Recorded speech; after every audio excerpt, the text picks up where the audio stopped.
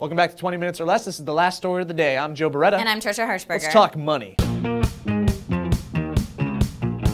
In Wall Street news, Goldman Sachs executive director Greg Smith has decided to leave his firm. Who's Greg Smith? Why do you give a crap? Why does this matter? Well, it matters because when he left, he decided to air his very serious grievances with the company in a very public forum. And that public forum turned out to be the New York Times. The executive director, well, ex executive director, wrote an op ed article entitled, Why I Am Leaving Goldman Sachs. In the piece, he says that Goldman Sachs employees refer to their clients as Muppets and then goes on to describe the work environment as toxic and destructive. He wrote how the bank is rewarding those who bring in the most money, not necessarily the employees who are looking out for the best interests of the client. He also says the company's lack of integrity makes him ill. He wrote, Today, if you make enough money for the firm and are not currently an axe murderer, you will be promoted into a position of influence. Wait, wait, what, what if you are an axe murderer? You probably don't care as long as you're making the money. You know what? This whole writing letters to call out people in the workplace that make you angry thing sounds like a good idea. What do you have to be angry about? What, How about Lee and Elliot? Lee and Elliot are the worst. How could you hate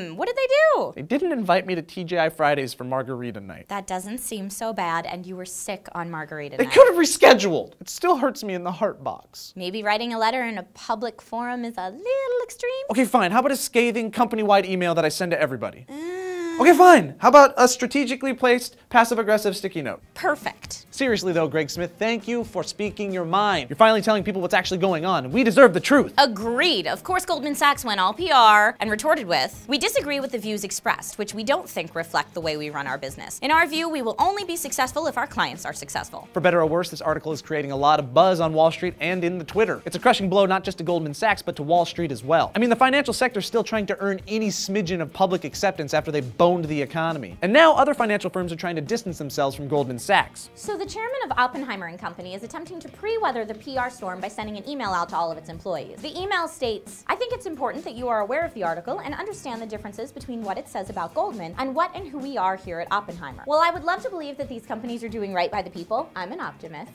Popular opinion is that the economy isn't exactly thriving right now. It certainly isn't. But I bet burning that bridge with his former employer felt really good.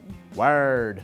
All right, guys, so if you got to write a letter about what made you angry, what would you put in it? Let us know in the comments down below. Don't forget to like and subscribe if you haven't already. Then hit this annotation or go to sourcefed.com for the five stories of the day or anything that we've covered ever. I'm Joe Bereta. And I'm Trisha Hershberger. Elliot and Lee, I'll see you at Margarita Night. They invited you to Margarita Night?